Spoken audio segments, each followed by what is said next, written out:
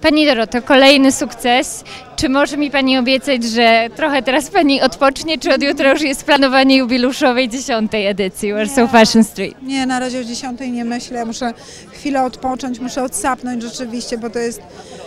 Czuję się fatalnie, mam zwalony kręgosłup, jestem zmordowana, zmęczona, jak zbity pies, ale szczęśliwa, że e, na finale była pogoda i że przyszło tyle ludzi, naprawdę. napra- Wspaniali goście, że dopisali goście z zagranicy, że ta impreza zaczyna mieć charakter międzynarodowy, na czym mi bardzo zależało. Czy wszystko poszło zgodnie z planem? No nie zupełnie wszystko poszło zgodnie z planem, bo tam na górze to nam dali czadu.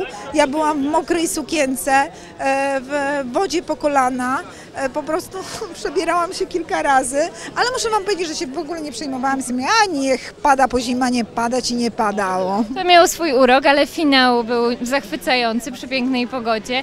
Pani w roli modelki. Jak Pani się czuje w tej roli? No tu ja muszę powiedzieć, e, ja nie występowałam wśród modelek ani modeli.